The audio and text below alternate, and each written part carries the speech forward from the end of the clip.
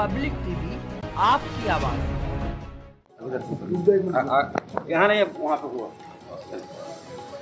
आगे बढ़ नहीं बोले आगे बढ़ते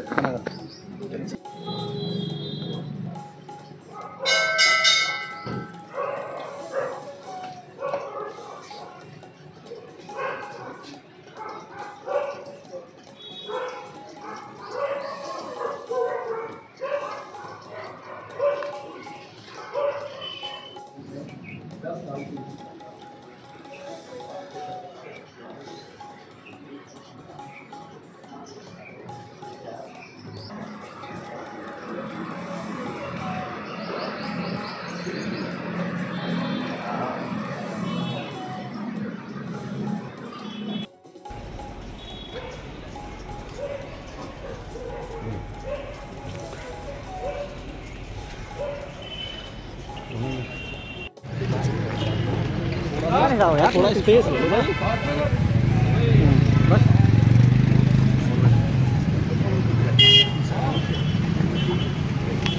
हो रहा और मुझे खुशी है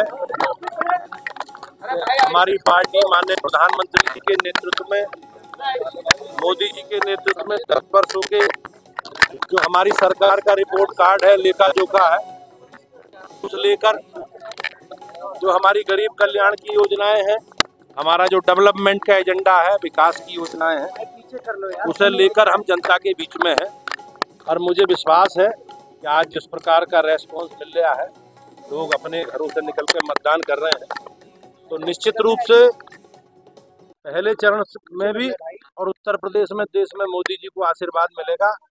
और माननीय प्रधानमंत्री जी का जो संकल्प है अब की चार अब की बार चार सौ पार का वो निश्चित रूप से उत्तर प्रदेश की जनता उसे पूरा करे। तो आठ सीटों पर चुनाव है पाँच सीटें ऐसी थी जिसमें पिछली बार बीजेपी को जीत हासिल नहीं हुई इस बार कितनी उम्मीद अब लोकतंत्र में जनता का निर्णय है और हमारी आधारित जन संगठन है। हमने आपस में बातचीत करके सारे विषयों की समीक्षा की है और उन सब खामियों को दूर करने का प्रयास किया जिसके कारण पिछली बार इन सीटों पर परिणाम हमारे अनुकूल नहीं आए थे।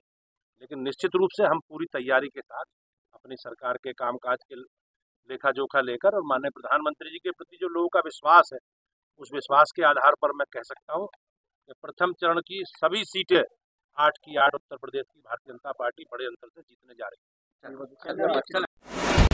पब्लिक टीवी आपकी आवाज़।